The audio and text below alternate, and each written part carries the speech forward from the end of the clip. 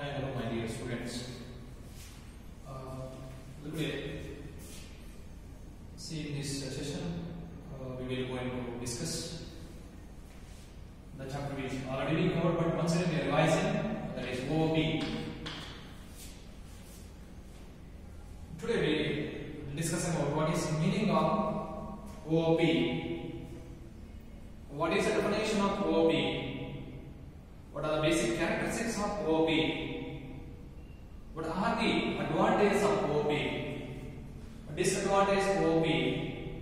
applications of OP and difference between DOP and OP. We'll discuss in this chapter. See, before going to start what is meaning of OP, let me discuss what is the reason we are moving to use OP concept. See, before OP programming, we are using POP programming. POP nothing but procedure-oriented programming. POP means Procedure Oriented Programming. See, the drawbacks of POP leads to development of the OOP. POP means Procedure Oriented Programming. Example C. Though it is user friendly, though it is user friendly, but nowadays we are using more is OOP concept. The reason is OOP maintains data security.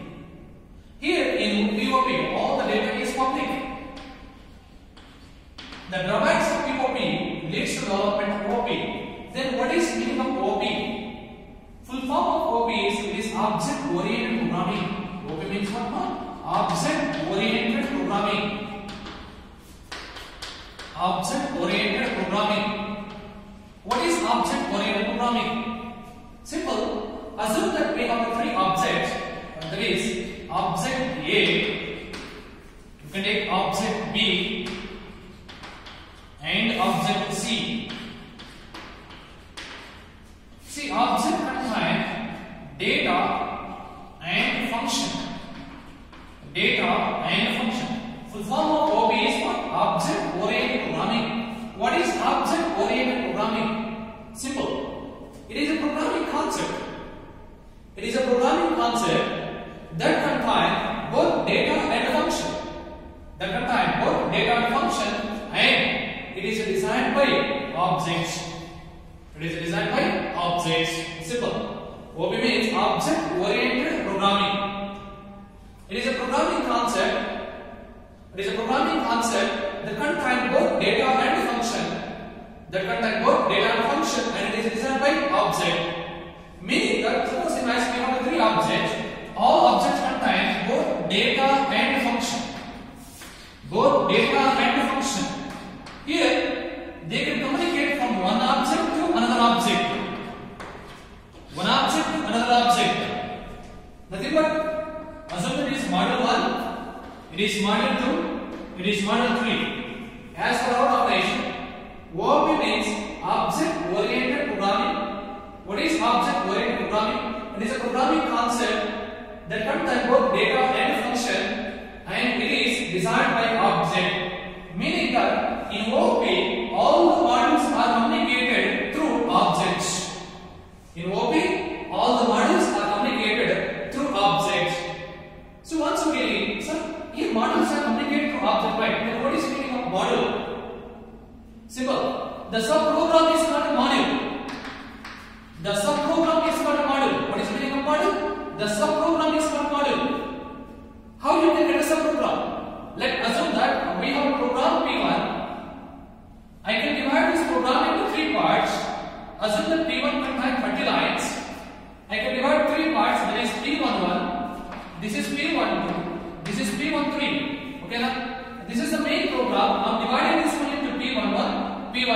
P1 3. Assume that P1 perform addition operation, and subtraction operation, and multiplication operation.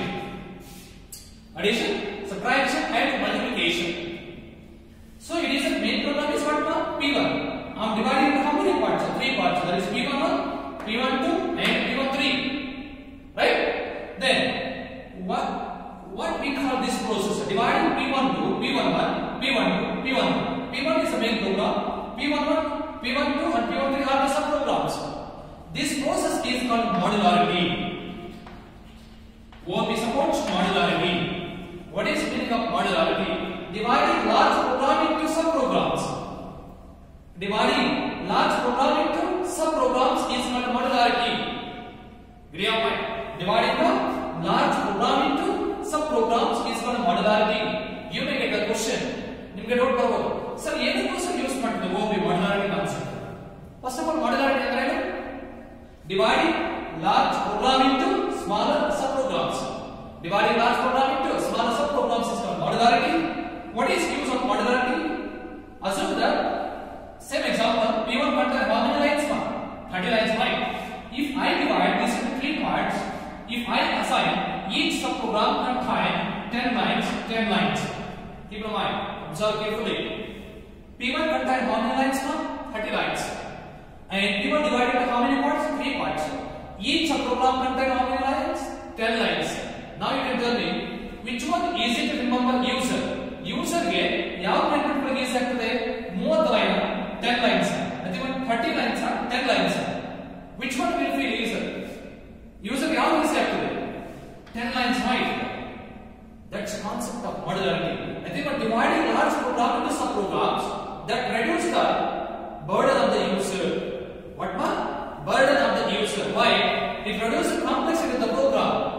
YMC modularity in OP, modularity can reduce complexity of the program when the program complexity is reduces, the burden of the user will be reduced automatically. That is advantage of modularity. Idea of mind. What is the meaning of modularity? Dividing the large program into subprograms is called modularity. What is module? What is module? The subprogram is called module. The subprogram is called module. So once you get it, what is the meaning of OP? Definition of OP. How models are communicated in OP. What is the meaning of modularity? What is the meaning of module? Next concept is very simple. See, the basic characteristics of OP. The basic characteristics of OP. The basic characteristics of OP. What are the basic characteristics? Characteristics nothing but features.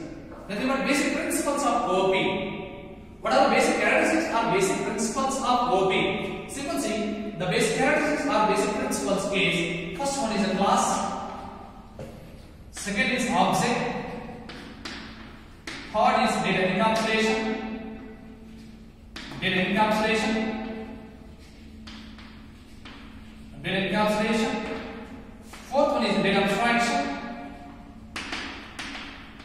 data abstraction, one is polymorphism polymorphism sixth one is inheritance inheritance the seventh one is dynamic binding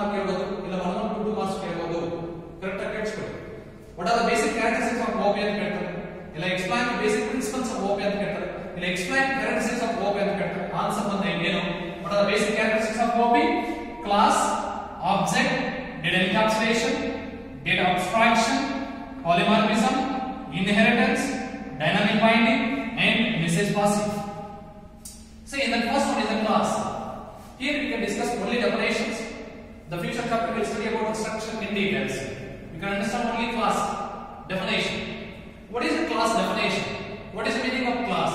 Simple. Class is a blueprint of object that contain both data member and member function. Did you find? What is the meaning of class, man? What is the meaning of class? Class is a blueprint of object that contain both data member and member function. That's all. The class is what? Blueprint of object. What is the meaning of blueprint? The rough idea about a program.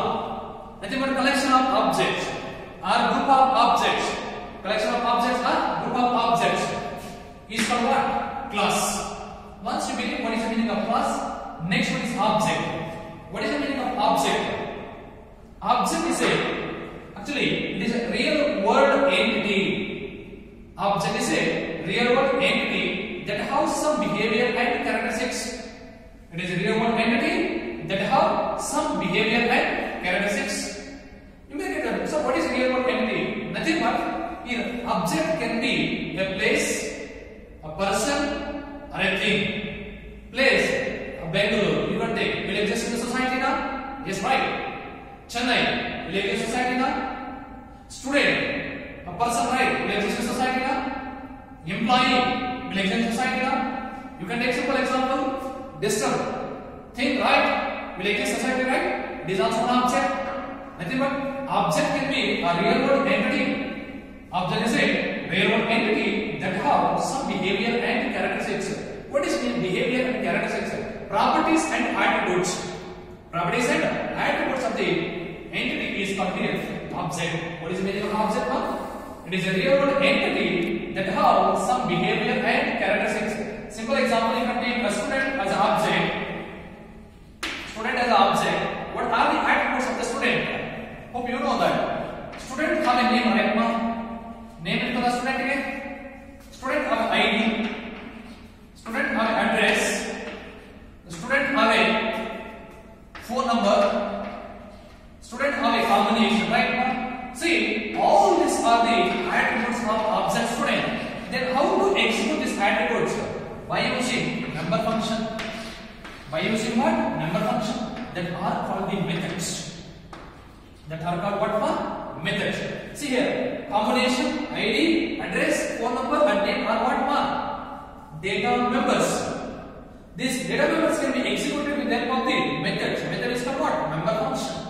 Here, object, right? A class contain was both data member and member function.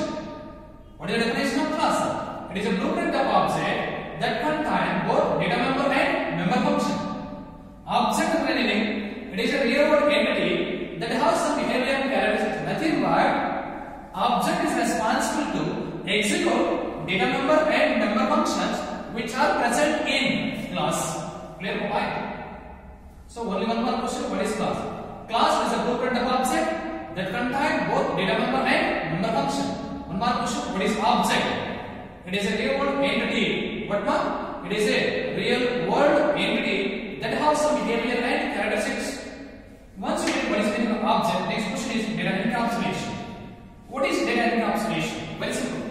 The process of wrapping both data and function into single unit is called data encapsulation. What is data encapsulation? The process of wrapping both data and function into single unit is called data encapsulation. Then what is use of data encapsulation? OP. Use, use of encapsulation. OP provide.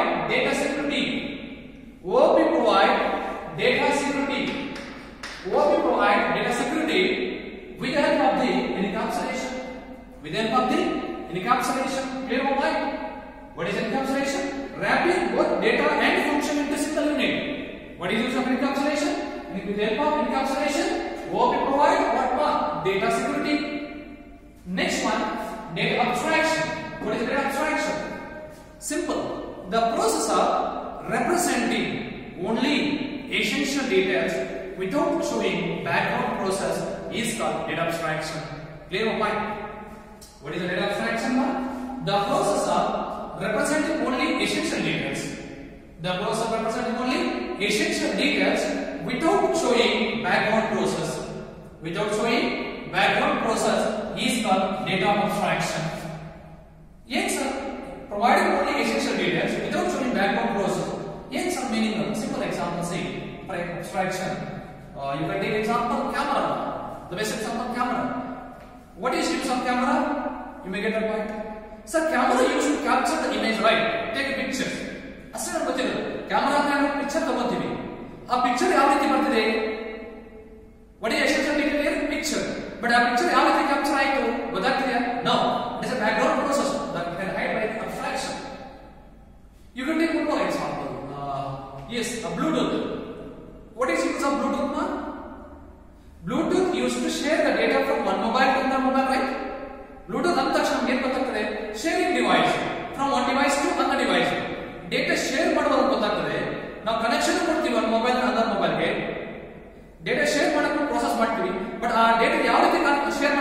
No, again, that is concept of data abstraction.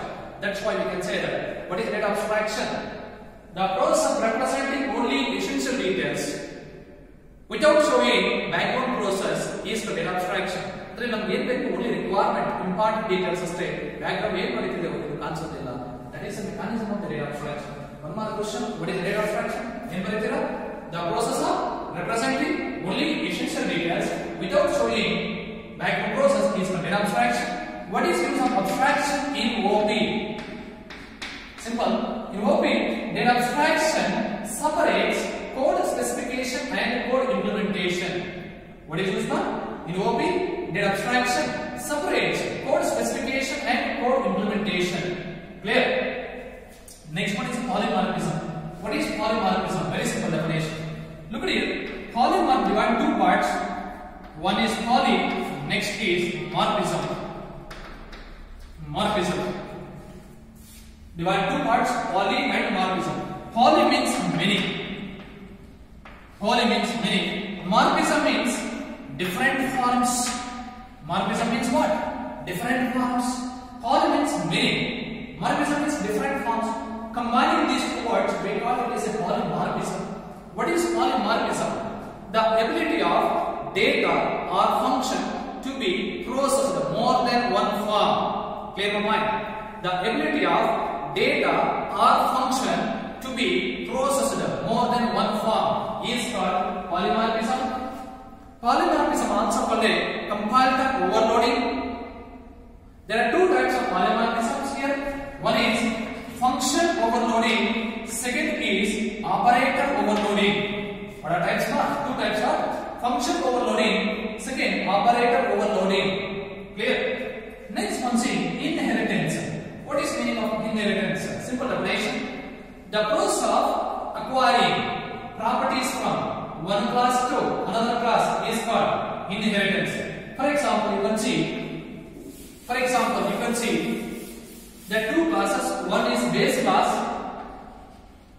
one is base class, another one is derived class, derived class, that two class one is base class, the other is what mark. Derived class. Here derived class acquires properties from base class is called inheritance. What is inheritance?